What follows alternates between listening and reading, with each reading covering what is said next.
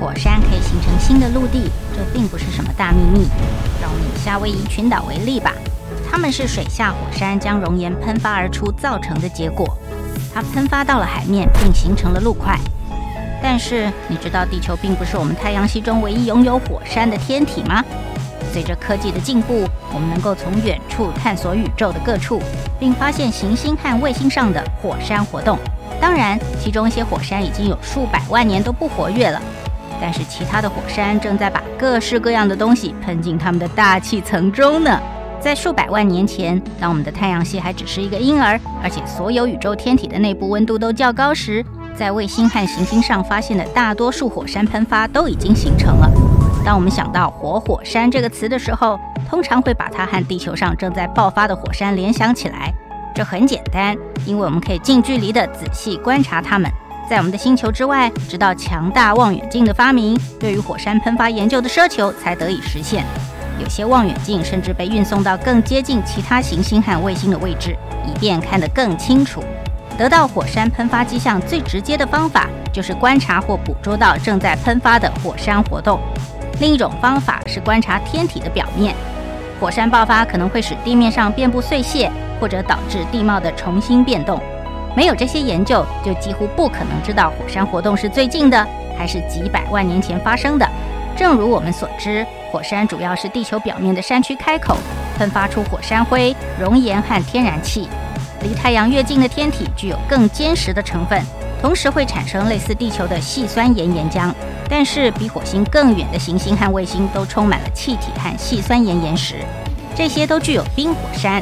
不同于喷发出的是炙热的熔岩，它们喷出的是冰冷液体或结冻气体，像是氨、甲烷和水。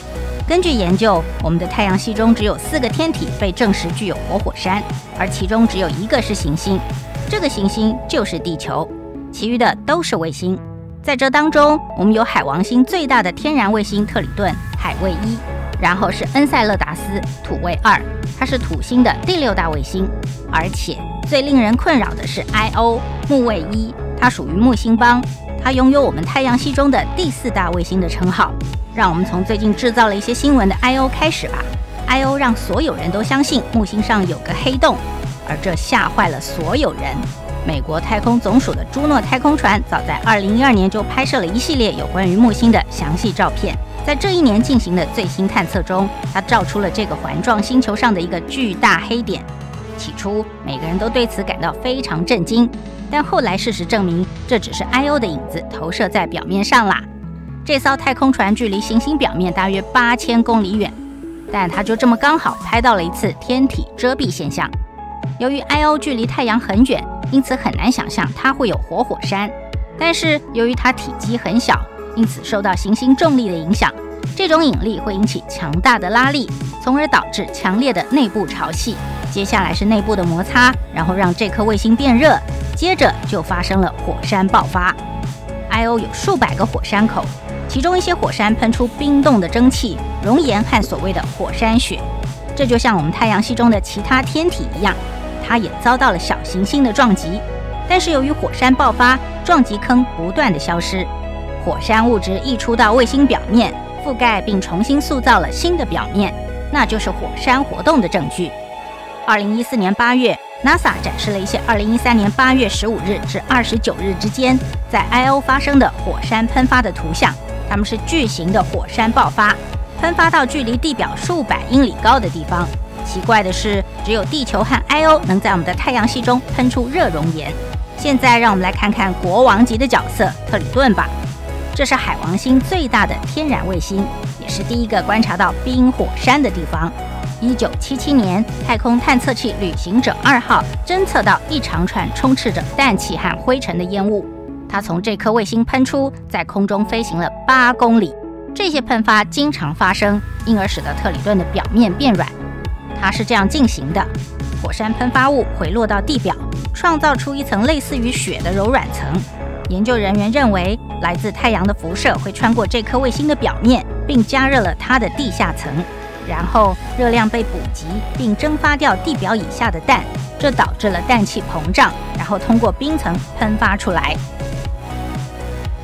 第三颗活跃的冰火山正在活动中，它是土星的天然卫星之一。实际上，这是记录的最完整的活火山。卡西尼号太空船在2005年记录了其第一次活动，它捕捉到了来自南极地区的冰粒子喷流。当时，卡西尼号甚至设法飞越了火山云，并报告说它是由水蒸气、少量的甲烷、氮和二氧化碳所组成。有一种理论可以解释这些特定的冰火山是如何运作的。在这颗卫星地表下有大量的压缩水，由于它是从内部被加热的，所以它维持着液态。偶尔加压水会喷到地表，伴随着冰粒子还有水蒸气云的产生。冰火山直到2005年才被发现，因此很难在我们的太阳系中进行广泛的探索。尽管尚未得到证实，但仍有大量证据指出太阳系的其他地方也有火山活动。以金星为例，那里有很多活动发生。这是这组行星中最热的一颗，它有一千六百多个大型火山，以及十万到一百万个较小的火山。但就让在金星发生的一切留在金星上吧，藏在厚厚的云层下，主要由硫酸和二氧化碳组成。那里可真没法待下去啊！金星的表面没有空气，也没有水，早就沸腾蒸发掉了。金星具有极端的温室效应，因此。它的温度可以飙升到摄氏四百七十一度，然而它有许多层不同的温度层。大气压力减缓了风力，这阻止了雨水或气流对地表的影响。这就是为什么老火山喷发看起来相对较新的原因。然而爆炸的种类则是有限的，只有熔岩出来，而没有火山灰或爆炸性的熔融岩石。像火山相似的最高地貌是马特山，它有四点八公里高。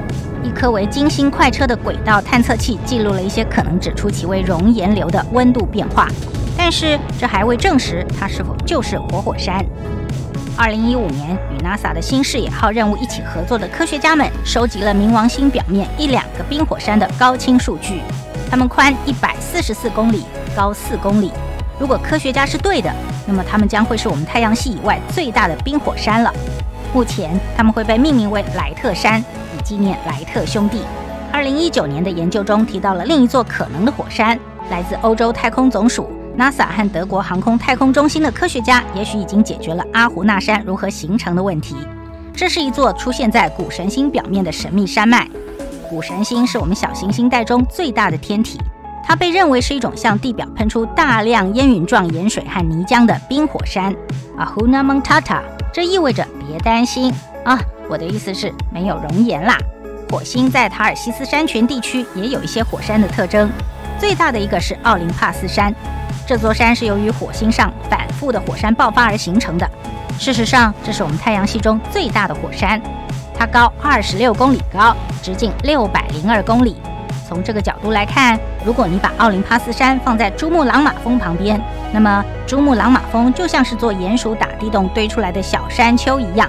这片巨大的高原是一座略微倾斜的盾形火山，从侧面看，它就像是个放在地上的战士盾牌，这就是这个名字的灵感来源。